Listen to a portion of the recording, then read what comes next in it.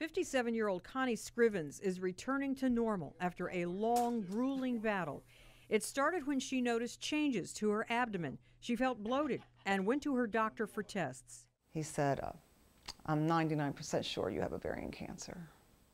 Connie's cancer was advanced. She had more than 50 tumors. Surgery, surgery, surgery. And let me tell you, it was pretty invasive surgery. Followed by five rounds of chemo. Nothing was working. Gynecologic oncologist Neil Rosenshein had another option a new therapy called Lynparza.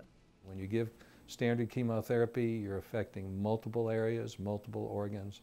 Here, the Lynparza is targeted directly to the cancer cells. Because of the way the drug works, Dr. Rosenshein says it can be effective only on women with the BRCA gene mutation, like Connie. It is only available for women who have failed at least three other types of chemo. I was told that it doesn't really affect your good cells was a big positive because you can imagine how many times my good cells have been knocked down during the first four months of treatment, Connie's cancer has been steadily shrinking, and doctors are hopeful it will go into remission.